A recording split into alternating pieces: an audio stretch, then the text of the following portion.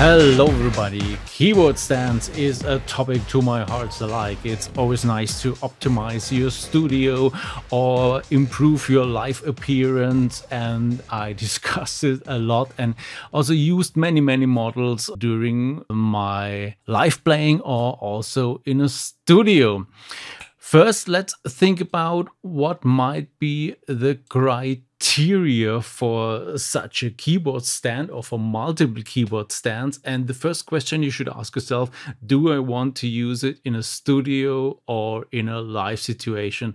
Only a rare amount of keyboard stands can be used for both or make sense to use both. So this is something to consider in the beginning. The most important thing is definitely stability. It should not be shaky. And also if you have heavier synths, it should not simply break down. And also if you're in a live situation, someone hits your keyboard stand, it should not just yeah, crumble down and your expensive keyboards will crash on the floor next question should be how many synths do you want to put on it? So it's only one. Is it a heavy uh, electric piano or is it just a little remote keyboard? So these are the things to consider. Next thing is positioning of the keyboard. Can you adjust the height but also the depth? So it's very rare that you can also adjust the depth. Sometimes the issue that you yeah hide parts of your lower keyboards for example and also tilt is a thing. So can you tilt your keyboards on a stand or not.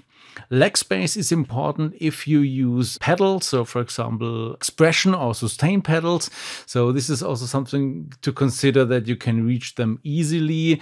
Expandability, for example, if you also need to attach a tablet or a laptop or you want you sing, so you need a microphone or in a studio you want to attach your monitors as well to the stand.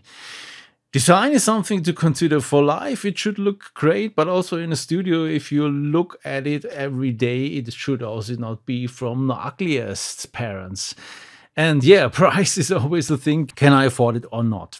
And there are some specifics for the live situation. Stability I already talked about, but in a live situation, if you play the weirdest stages which are shaky or not even, so there are some keyboard stands who support uneven ground, especially if you think if you have four legs, it's always problematic to have them really stand straight.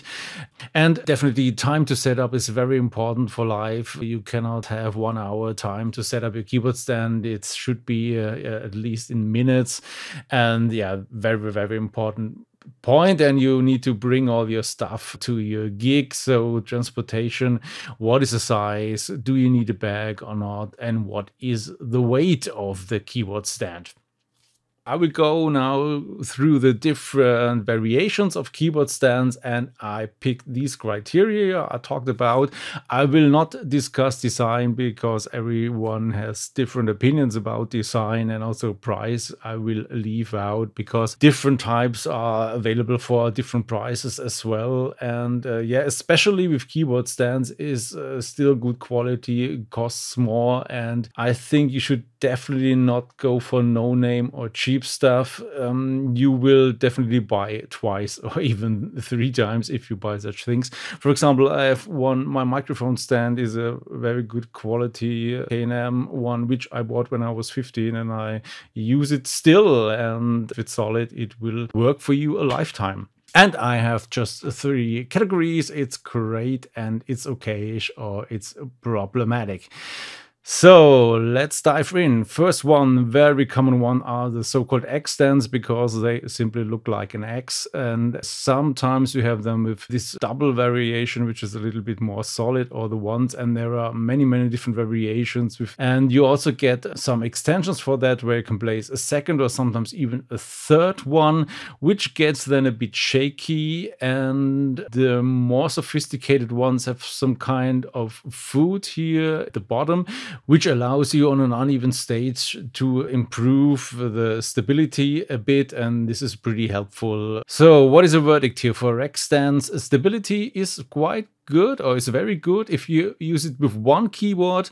If you have two or three, it might get pretty soon shaky. Yeah, many synths, you're up to three sometimes. So if this is okay for you, then this will work. Positioning is uh, quite often problematic because many of them cannot be tilted or you cannot adjust the depth. Height is normally not a problem, but it might also conflict a bit with the leg space if you change the height because then also the X changes. And also something to be aware of if you have small keyboards, you might need to make them very high so the small keyboard fits on there still. Expandability for some you can get microphones, but uh, yeah, that's basically it. Time to set up is very, very fast. Basically, put in one screw or just pull a handle and that's it, and you're ready to go. Transport is okay. They fold together, but they still are pretty big and consume some space, but nevertheless, they are flat at least. So, yeah, also some kind of okayish here. So, next one is the more towards the studio situation. So, desk stands. You can also even get them now from some companies with electric movement so we can move them up and down, which is, yeah, in a studio pretty helpful to not sit the full day. And in a live situation, the best ones fold like this on the right, but this is still a bit clunky. So you might need to get a bag for that. And but with a bag, it might be okay. You can also get any many options for such things, especially here now the new Black Panther model. Black Panther system is the name of the company models can be extended crazily. You can add here monitor stands, laptop stands for your drum machines and everything. But as you might imagine, to set this up in a live situation is a little bit complicated. So stability is great with such uh, desk systems, also for many synths, as you see here in the picture. And positioning is also very good, especially the Black Panther can also adjust it in the depth, which is very rare with such systems. And it's the only one I could really bring in a position that I can see my full lower keyboard. Expandability and also leg space is very good here with these models. Issues are with the time to set up. If you have only the small models for one keyboard, maybe it might be still okay, but nevertheless, they're also pretty heavy and big and clunky. So this is more towards a studio situation. Pretty similar area are these so-called Zed stands because they look like a Zed here or a Z as they say in America. They have the drawbacks, I think, from both things. So uh, a bit clunky and hard to set up for a live situation, but they are also not so nice in the studio. And as you see, if you fold it, it's also pretty, pretty clunky. And I would prefer a desk, I think, for the studio. A very special stand is the so-called V stand, which you only get from Ultimate, and there was a Roland version as one once, I think.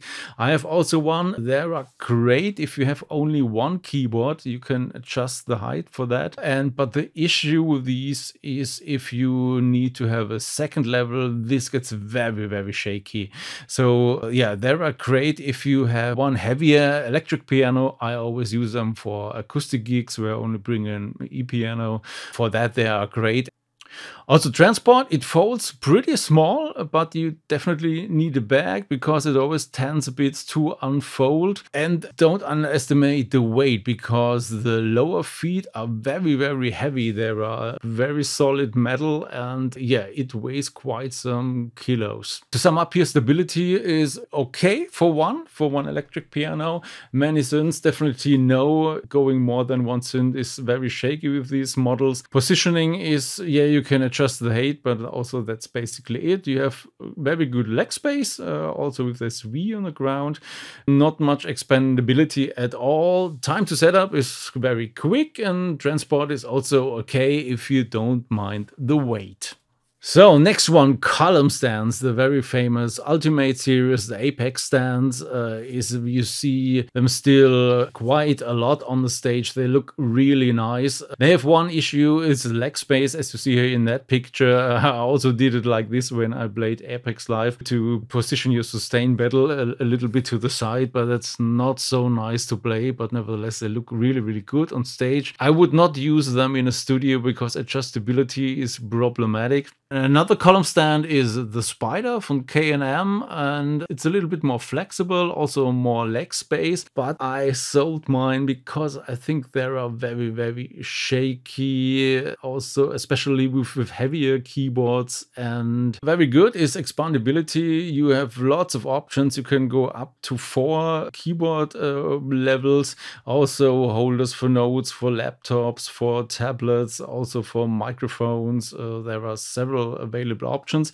Drawback for that is that the time to set up gets complicated because you can only fold in two of the arms and the rest then needs to be removed and you need to fit them then in a live situation. And yeah, this is a bit uh, problematic. As I said, the Apex one, which I also played a long time live, which you see in the picture, is very good. With the Spider, I think it's very problematic. Yeah, many synths is okay. So you can even go up to four, but then you will hide the lower synths definitely. So I think yeah, three maybe, but but it's more uh, towards two. Uh, leg space is okay with the Spider, but also with the Spider, it's a little bit limited to move in your foot in that area. Time to set up is pretty fast until you have lots of these extensions. You see here in the image, then it gets also complicated and takes a bit of time. And transport is also okayish if you use only the standard stuff. So next one is keyboard racks. So these are if you need to hide and position many, many keyboards. So these are definitely targeted in the direction of studio, but also in the 80s, lots of keyboard players when you still had to carry many keyboards to your gig to have a good sound blade, the version you see on the left. First setup takes a long, long time until you have positioned everything. But if you have your stuff in place, also for live, it's quite okay. They are pretty lightweight and fast to set up, but transportation is still an issue. What also is worth mentioning, if you need to reposition your keyboards or move them around in the studio, you can also get that here with, rolls and you can move that then easier around. Also, the model on the right here can be adjusted in a depth which I was not aware of, which is really cool. So as you see here on, on the top image, you can move that more to the back. So you can uh, adjust them a little bit better than here on the left ones. And they are also tiltable to your heart's alike. Some examples what you can cram off such things. You can even expand them as crazy as you see in the left image. You can also have more keyboard holders on the left of such a stand. And here on the right one, you see that you can adjust these models in the dev as well. I have also Jaspers here in my studio, and there you see also that you can adjust it pretty excessively. For example, the 2600 on the right, the blue one is tilted very heavily.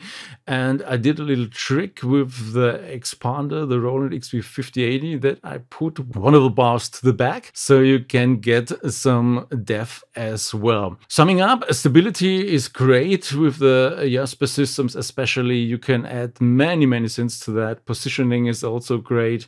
Leg space is very good. There's uh, many free space at the bottom. Expandability, also lots of options available for that system. And yeah, time to set up at least at the first time is takes a long time to configure everything but if when it's set up then it's also quite easy to put it down and put it up again but transport due to the size is still an issue the last category is custom stands. There are companies, for example, like Gibraltar, which provide normally drum racks, but they have a very uh, cool system where you can configure basically everything to your heart's alike. And they also have a great YouTube channel where they also show how to set up a specific keyboard stands and how to tweak them. And they're really, really adjustable. And they are the only ones I know where you can tilt the keyboards toward the audience, which is really cool for live. The drawback with these is they are quite heavy. This is one of my setups I had for my individual totem project. And uh, yeah, as you see, I also tilted the keyboards uh, towards the audience, which I think looks really good. And people can finally see what this keyboarder guy is doing there. And as you see in the left picture, I also attached a laptop and also even a, a little drum setup on the right. And this is all on one keyboard stand. And yeah, it's also pretty quick to set up. Also, first configuration time to set up takes a long time till you have adjusted everything to your heart's alike. But then with these clamps, it's really fast to set that up again because they remember the position. And uh, yeah, I will not go into that detail. You can check out the YouTube videos. They have many, many advantages. Uh, they are quite pricey, so that's uh, the drawback for that, and a bit heavy. So you definitely need a suitable bag for these things to transport. And yeah, you should not be afraid to carry a bit of a weight. Pooh, so this was really a long video and to sum up just maybe just give you some pointers to brands to look into. I think the four most common ones are now the K&M, which is very solid. This company exists for a long, long time, very good stuff, but also some things which I do not like. So for example, the spider is a bit problematic, I think, but nevertheless, you should always check that out for yourself because there are also a lot of people who like the spider. The Jaspers is especially great for studio setups. And a new kid on the block, also a German company, is Black Panther System, which have now these nice studio desks with many, many options. And I have one of these as well and pretty flexible and I like them a lot. And you read also many, many good reviews in the internet. So you should definitely check that out. Ultimate is also a company which is for quite some time on the market and they have very specific solutions like the V stand or the Apex series, which looks pretty cool. Everything on stage, so their stuff is more for for live situation and also very very good quality. Then there are many special synths where keyboard or synth manufacturers provide specific solutions for specific keyboards or synths, so you can get them in the package. Especially Roland and Yamaha doing that quite often. So this is also something worth to consider. And as I showed Gibraltar, so it's also worth to look into solutions which are not necessarily intended for keyboarders, but uh, for example, here drum uh, rig uh, builders is a very, very nice option for very flexible stuff. And really, I would stay away from no name stuff because definitely the quality in these things they always lack in some areas. For example, the screws are not good or they break or whatever. There might be still also good stuff in that area. For example, if you only need a simple X stand, but you should definitely have a look and check it out yourself if it's really okay to put your expensive keyboard on a cheap stand. I hope this was helpful for you to get this big picture about keyboard stands and possibilities. And I'm still trying to learn more about these things. And I always are surprised that are solutions I did not yet think about. So if you have other tips or ideas or things I should know about, please tell me down in the comments. Or if you have pictures from your setups, I would also love to see them. And until next time, make some funky music.